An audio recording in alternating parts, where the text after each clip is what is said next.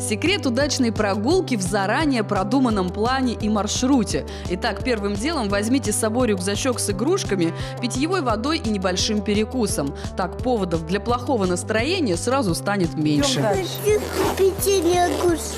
Накануне подумайте, о чем бы вы хотели рассказать малышу. О повадках птиц, видах облаков или особенностях хвойных деревьев. Найдите в интернете любопытные факты и разучите короткий стишок. Пригодится, чтобы подольше удержать внимание малыша. Жук упал и встать не может. Ждет он, кто ему поможет? Лед.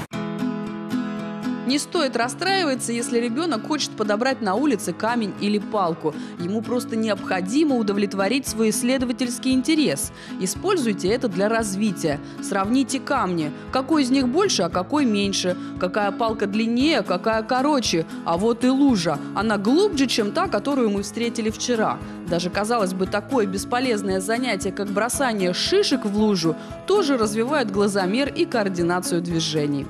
О,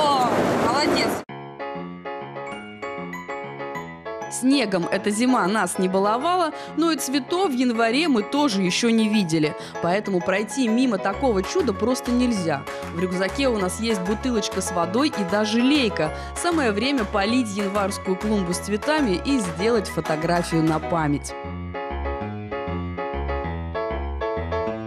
Меняйте привычные маршруты. Если вы до этого каждый день ходили в парк одной и той же дорогой, разворачивайтесь в противоположную сторону и отправляйтесь бродить по незнакомым для ребенка улочкам. По пути можно заглянуть в зоомагазин, посмотреть, как тут живут морские свинки, рыбки и попугайчики.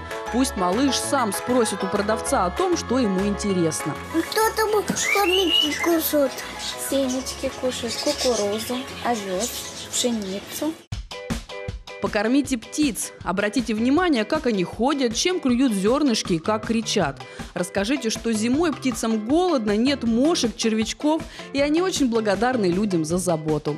Голубь, голубь, что ты ждешь? Хлебных крошек не клюешь. Я давно заметил крошки, но боюсь сердитой Коки. кошки. Обязательно найдите время для подвижных игр. Турники, горки, самокаты, беговелы. Малыш активно двигается и не мерзнет. Так можно гулять несколько часов даже зимой.